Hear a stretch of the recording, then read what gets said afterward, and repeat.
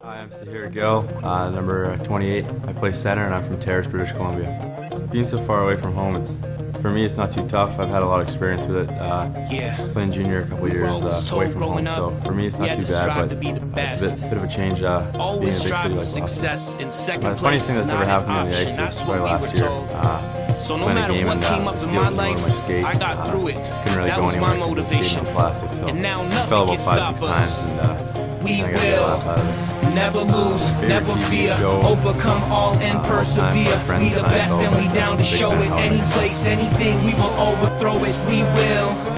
Never lose, never fear, overcome all and persevere. We the best and we down to show it.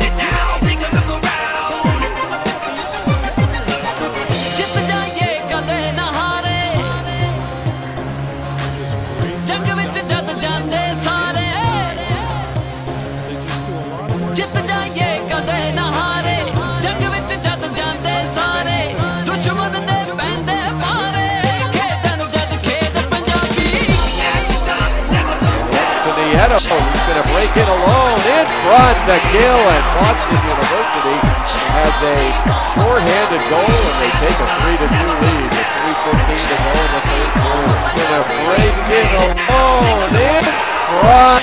And Boston to to the Always stay focused, superstar bound. Always was the dopest, never got weak.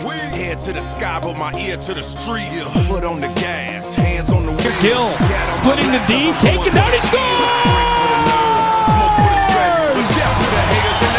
Sahir Gill stays with the play and scores his 12th of the season to give the Terriers a one-goal lead again.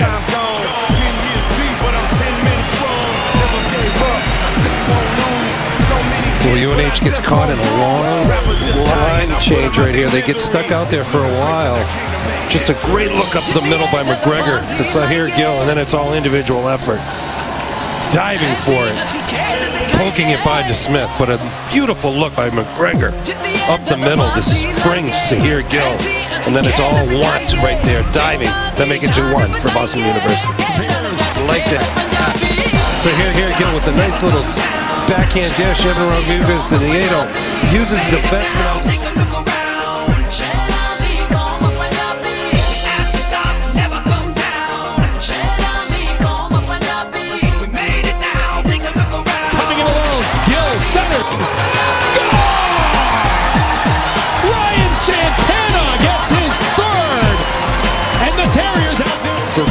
They come out of the box exchange, and Gill comes off and hits Santana.